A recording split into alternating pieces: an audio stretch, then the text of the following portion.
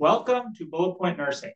My name is Dr. Goldstein, and in this lecture series, we're going to cover essentially everything you need to know for nursing pharmacology. So whether you're here as a nurse, a nurse practitioner student, or a nursing student getting ready for the NCLEX, I hope this series is able to help you. All the notes that we use in this lecture series can be found off of our website. So today we're going to be talking about nephrology, and more specifically, we're going to be talking about diuretic medication. Let's begin with a pathophysiology review. When blood is filtered through the kidneys, it works with a relatively simple process. The blood enters the nephron, and in the nephron, it continues through it until it either gets absorbed back into the body, into central circulation, or it continues to the end of the nephron and heads its way to the bladder as it is going through this process through the nephron, the body is picking out exactly what it wants to keep and exactly what it wants to get rid of. So what this means is the body may pull some hydrogen back in, it may pull some H2O back in, it may keep some sodium in there, it may keep some potassium in there, and so on and so forth until it filtered out exactly what it wants to continue on to the bladder to get rid of, and it keeps exactly what it wants to remain in central circulation. When we go through our discussion of dealing with diuretic pharmacology, we're going to start to learn the different drugs that impact this process. Next, we have aldosterone. Aldosterone is a hormone that increases sodium and water reabsorption back into the body. So let's be really clear. What does this mean? If something increases sodium and, uh, and water absorption back into the body, that means that it's going to hold on to fluid. Instead of getting rid of or peeing out fluid, it's going to hold on to fluid. Next, we have a hormone called ADH or antidiuretic hormone. This hormone is responsible for pulling water directly out of filtrate back into the body, again, holding on to fluid. Next, I want to just quickly review that when we have a patient that we are giving them a diuretic, we need to generally monitor their kidneys. Again, we're impacting the work of the kidneys for better for worse. So we need to monitor the patient's kidneys. How do we do that? We do that with BUN, creatinine, glomerular filtration rate. Those are the three primary labs for monitoring how the kidneys are doing. By far, the most commonly used one is going to be a creatinine.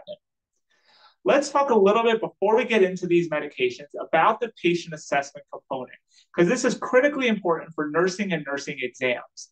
Anytime we are giving a patient a diuretic or fluid on either side of that, whether we're trying to increase their fluid or decrease their fluid, you as an RN, especially for test purposes, you need to understand how to assess a patient's volume status. So it would be fair game, especially on the NCLEX, the next gen uh, testing that's out there now. You want to make sure that you understand how to assess your patient prior to and following administration of a diuretic, and this applies to fluid as well. So how do we check volume status? There's a few different ways. First of all, skin turgor.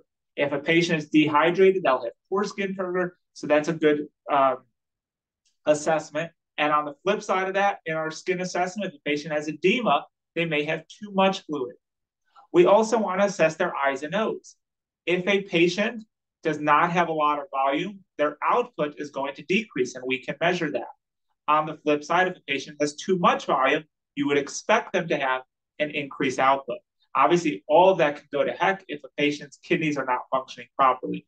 But for test purposes, outside of having a kidney um, pathophysiology, we know that I's and O's can reflect on a patient's overall volume status.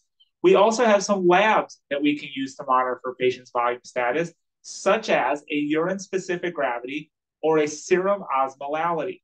Both of these labs monitor a patient's volume status and can tell us whether a patient is dehydrated or not.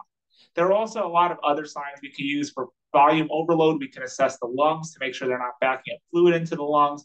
We can look at a patient's mucous membranes to make sure they're not really dry, which would be a sign of dehydration, and so on and so forth. I want you to really know all of those things because in test taking, when we're going through diuretics, it is 100% fair game for them to take it to the next level and say which of the following would be a priority assessment related to the adverse effects of this drug or which of the following would tell you if a patient needs these drugs. And it could certainly ask you any of those questions relating to volume status um, that we talked about, whether it's lab or actual hands or eyes on the patient assessment. So let's talk about the first class of drugs we have, and that is our loop diuretics. The drugs in this class are bumetanide, furosemide, torsemide, and many others. The mechanism of action is that it blocks the body from reabsorbing sodium and chloride back into the body.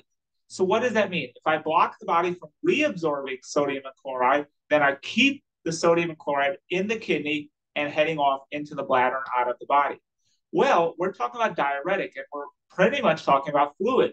So what does sodium and chloride have to do with fluid? Hopefully you already know that answer, but if not, here we go. Sodium and chloride attract water. So if I keep water in the nephron, if I keep sodium and chloride in the nephron, I'm going to keep water in the nephron and I'm going to keep it heading out to the bladder. Versus I, if I allow the body to reabsorb the sodium chloride back into the body, then I would also be allowing the body to reabsorb water back into the body. And this is a diuretic. It's meant to not reabsorb water back into the body, but to keep water going out of the body. What do we use this for? We use it for edema, which is fluid overload, related to many different conditions heart failure, liver failure, kidney failure, etc. We also use this as an alternative option, never first line, for hypertension or high blood pressure. Two major adverse effects of this drug are ototoxicity and hypokalemia. Make sure you're assessing your patient before and after for signs and symptoms of hypokalemia, as well as any issue related to their hearing. Also keep in mind the NCLEX may not ask you specifically to check their lab for hypokalemia, they may want you to know the signs and symptoms of hypokalemia, muscle weakness, dysrhythmias, for hyperkalemia, things like that. So make sure you take it a step further and you understand not only that does this drug cause hypokalemia, but I need to understand what the um, side effects of hypokalemia are, and then to know how to assess my patient for those effects. Black box warning for this drug class is that it can cause fluid and electrolyte imbalance. That makes sense. It's a really powerful diuretic, so it can cause fluid and electrolyte imbalances. This is considered the most potent class of diuretics. When you're administering this to your patient, it is critically important to monitor their electrolytes. Obviously, it has a black box warning. However, I would prioritize probably the two most important electrolytes to look out for in your patient would be sodium, because that's the primary one that this acts on, and potassium, because that can cause the most problems in relation to what else this, uh, what other effects this drug has. So sodium and potassium would probably be my two highest priorities um, if you see such a test question. The next drug class we have are the thiazide diuretics. And I did skip one bullet point there. Let's not skip it. The last one, do not increase your sodium intake. What do we mean by that? If the point of this drug is to keep sodium from staying in the body, to keep sodium heading out of the body, if I'm sitting here eating a bunch of sodium, that's pretty counterproductive. So you should educate your patient. Don't alter your sodium intake. So our next drug class are thiazide diuretics. And again, this whole lecture is to be diuretics. So in thiazide diuretics, the primary ones we have are hydrochlorothiazide and chlorthalidone. We did discuss this in the previous lecture when we talked about drugs for hypertension, but let's go through it again real quick. These two drugs are two of the most common drugs that we use in terms of diuretics. Hydrochlorothiazide actually is the most used diuretic.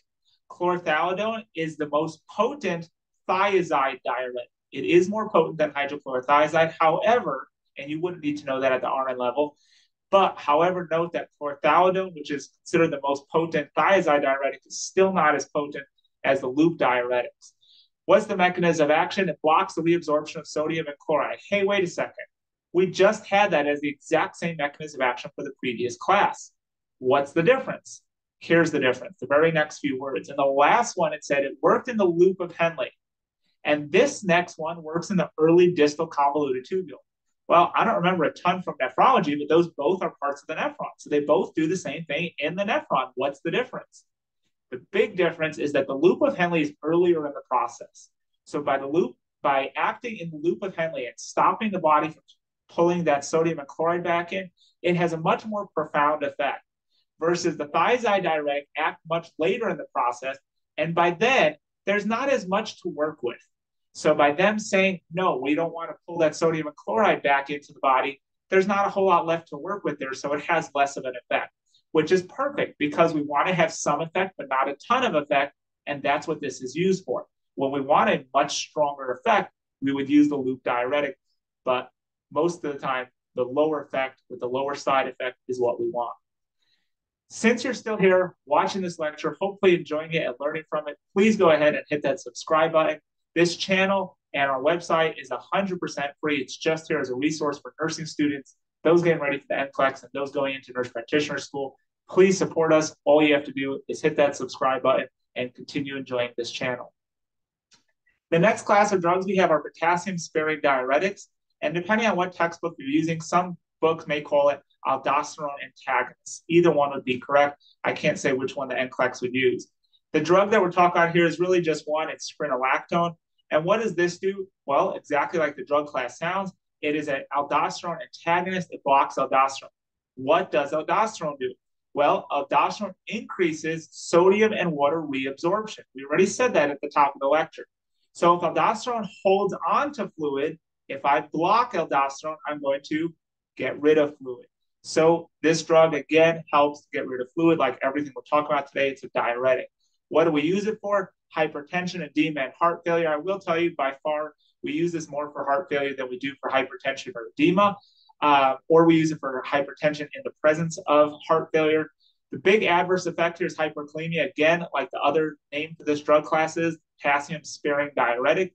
This one holds on. This one does not pee out extra potassium. So this one can actually make your potassium level go up. There are a few other drugs that also make our potassium go up, such as ACE inhibitors and ARBs. So this is something you really want to check a patient's potassium if they're on an ACE and an R or an ARB, and then they're put also on spironolactone, which is common. They both treat some overlapping pathophysiology, such as heart failure. So you want to make sure that if the patient's on this drug, we're really monitoring their potassium. Make sure they're not also on any other drug that also increases their potassium. If they are, we need to make sure we are implementing follow-up to monitor for that. I am not saying, to just to be clear, that you cannot be on spironolactone with an ACE inhibitor. Yes, those two together are known to cause hyperkalemia, but we do still do that in practice.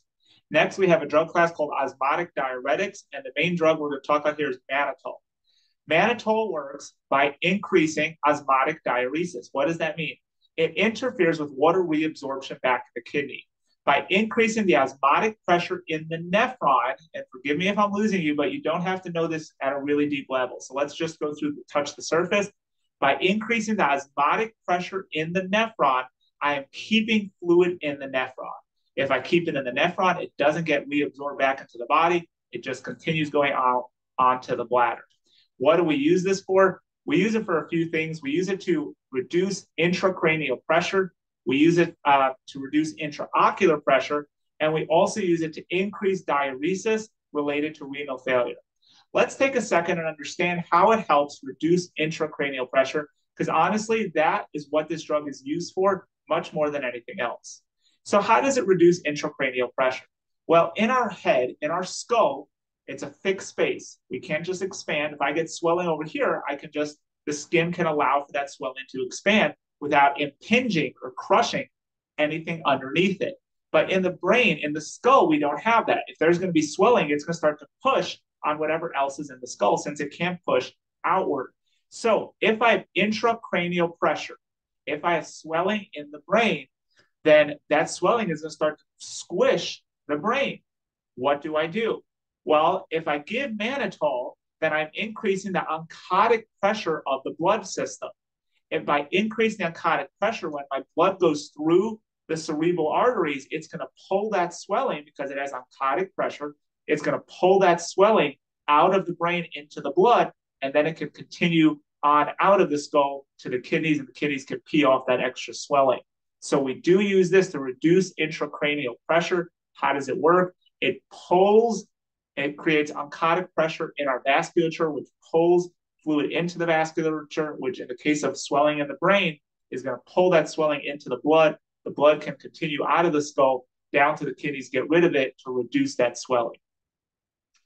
Patients that receive mannitol, generally, especially if it's for intracranial pressure, are obviously really critical. We need to very closely monitor their patient, this patient. There's a lot of adverse effects that can develop from using mannitol. And I don't mean this in a bad way. I just mean there's a lot of, since this is such a powerful drug, there's a lot of things we have to look out for. So we have to really monitor their neuro status, their cardiac status, their electrolyte status, and their volume status for any adverse effects of this medication.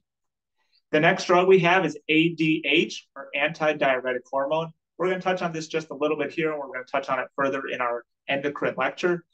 ADH is a hormone, and it, in our body, its role is two things. One is to pull fluid out of filtrate, out of the nephron back into central circulation, also known as holding onto fluid, and it also causes vasoconstriction. Those two um, goals both increase our blood pressure. So again, it holds on to fluid by pulling fluid directly out of the out of the nephron, and it causes vasoconstriction. If someone's in shock or cardiac arrest and their blood pressure is tanking or zero, this really helps. It holds on to fluid, which increases our blood pressure. It vasoconstricts, which increases our blood pressure. So it does have two very powerful effects that are used um, that are useful in a patient that's in shock. And that's pretty much what we use this for. We also use this off label for diabetes insipidus, and we will talk about it when we get to endocrine. Next drug class we have, or drug we have, is the carbonic anhydrase inhibitors. I'm sorry, drug class. And the drug here is acetazolamide. Acetazolamide is rarely used as a diabetic or uh, as a diuretic. It is used for other things such as glaucoma and AMS, which is acute mountain sickness. How does this drug work? It increases renal excretion of sodium, potassium bicarbonate, and water. By increasing the excretion of sodium, potassium bicarbonate, and water, it is getting rid of all these things. That's how it has its diuretic effects. This drug, again, it can be used for edema, not very often. More commonly, in your textbook may even only say that it's used for glaucoma and acute mountain sickness. A few things before we wrap up that relate to all of the different diuretics and drugs related to nephrology. First of all, you have to educate your patient on the side effects of these drugs. Please make sure your patient knows that this is going to make them pee extra so that they're ready for it, especially if they're like a truck driver or traveling. They know to anticipate that. Please make sure you tell your patient to take it in the morning so that they're not peeing all night. Um, and also, finally, if a patient is on a medication related to kidney problems, you must reassess every single drug that they are. This applies more at the nurse practitioner level, but this is something good for nurses to advocate for as well. If someone gets diagnosed with CKD, chronic kidney disease, put on dialysis, anything like that, every medication that they're on has to be reevaluated for dosing because I don't know an exact number, but probably something about 50% of all medications do have to be dose adjusted in the presence of kidney failure. Here are your references for this lecture. Thank you so much for watching. Have a great day.